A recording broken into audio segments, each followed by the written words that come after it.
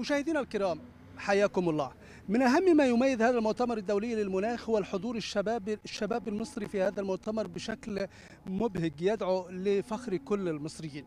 لكن هناك صورة أكثر إيجابية تم رصدها اليوم في لقاء سيادة الرئيس صباح اليوم هنا بعدد كبير من الشباب.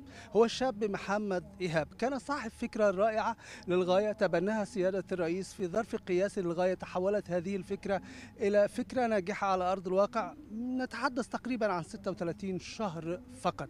سنتعرف عن طبيعة هذه الفكرة وما وصلت إليه. لأنها تجسيد عملي فكرة الطموح. حينما يملك الإنسان الطموح والإرادة يستطيع بسهولة أن يصل إلى ما يريد. محمد تحياتي. لقائك اليوم مع سيادة الرئيس آه، كلنا تابعناه آه، ادينا انطباع مبدئي كيف كان طبيعة هذا الحوار اللي تم بينك وبين سيادة الرئيس النهارده؟ أهلا بحضرتك في البداية.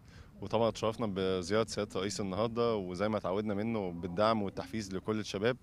ودي مش أول مرة إن إحنا نلتقي بسيادة الرئيس. آه، التقينا بيه أول مرة في 2019 وفعلا تلقينا منه نفس الدعم والتحفيز وهو ده اللي وصلنا لحد دلوقتي إن إحنا في المكان اللي إحنا فيها دلوقتي بالتوسعات وبالدعم اللي إحنا واخدينه. ما أنا حاجة على الفكرة بس هو سألك قال لك أنت وصلت لفين دلوقتي؟ حققت إيه؟ نجحت ولا لأ؟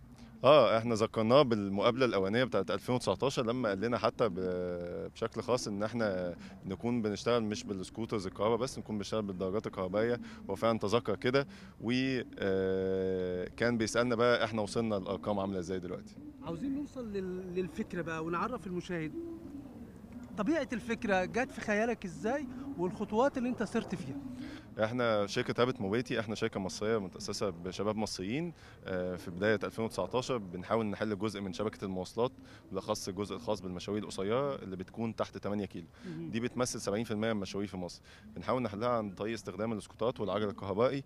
آه، بيبقى موجود على application العميل بيبقى عارف ال location بتاع كل سكوتر وعجلة على بعد قد إيه. فبيقدر ي scan QR code على السكوتر والعجلة يروح لوجهته يقدر يقفل الرحله أول ما بيوصل لوجهته من خلال ال application وبعد كده أي عميل تاني يقدر يستخدم نفس السكوتر والعجلة وعشان كده بيقال عليه التنقل التشاركي هل دي فكرة أحادية يعني أنت بس فكرت فيها ولا معاك شركاء آخرين من الشباب؟ لا طبعا معايا مع كنا بدأنا بثلاث شركاء آه، كمال السويني ومحمد المنصوري وباسم ماجد شباب من نفس سني آه، موجودين هنا محمد آه بالظبط هم موجودين ومشاركين وعندهم آه، فعاليات كتير بنحاول نشارك فيها ومسابقات وبدأنا زي ما قلت لحضرتك في 2019 اتفضل. مش عايز أحسدك. آه، قول لي جالك استثمارات كتير في رجال أعمال آه، تبنوا معاك الفكرة؟ آه الحمد لله. واستثمارات مش هقول لحضرتك كمان جال أعمال لا إحنا أخدنا استثمارات من الحكومة كمان آه، من صناديق تابعة لوزاره التعاون الدولي وفلك ستارت ابس وهيئة الاستثمار وده هم اللي كانوا تبنونا كحاضنه أعمال في البداية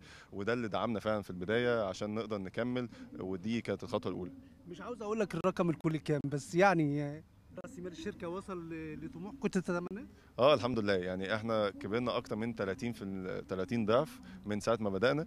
آه واصلين دلوقتي لأكتر من نص مليون رحلة أكتر من 300 ألف عميل. بحب أقول لحضرتك بما إننا في مؤتمر تغير المناخ فالنص مليون رحلة دول وفرنا 65% منهم كانوا هيتعملوا برحلات عربيات.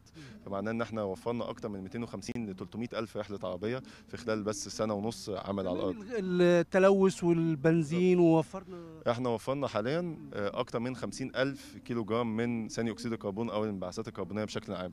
آه، فده بالظبط. محمد ممكن شاب يسمعك ويقول لك والله أنت محظوظ أنت قابلت الرئيس والرئيس تبنى الفكرة. طب مش كل شاب في مصر عنده مشروع هيروح للرئيس شخصيا؟ تقول إيه لكل شاب طموح عنده رغبة في إنه يثبت وجوده وعنده فكرة في خياله ونفسه يحقق طموحه؟ إحنا طبعا كنا بنقول نفس الكلام برضه في البداية بس يعني أحب أقول لأي شاب إن إحنا الحمد لله بمجهودنا قدرنا نوصل وقدرنا نبين مشروعاتنا للنور آه، ومن غير المجهود ومن غير ال- ال- العائق اللي إحنا حطيناه ما كناش هنعرف نوصل. ف... فأي حد هقول له نكمل سعي وهيجي يوم إن إحنا نوصل وبالذات الحكومة حاليا آه، حاطة آه، نصب عيونها على الشباب آه، سواء في الشركات الناشئة. عندنا حاضنات أعمال كتير اللي ليها علاقة بالحكومة وصناديق استثمار كتير طالعة من الحكومة. فهو ده اللي إحنا بنطمح له إن شاء الله. وأنا فخور اني جريت معاك. شكرا جدا لحضرتك وأنا اتشرفت بحضرتك. شكرا. شكرا لحضرتك. محمد فعلا تجربة عملية على أرض الواقع لكل شاب طموح في مصر لديه رغبة ولديه هدف وعنده الطاقة لإثبات وجوده.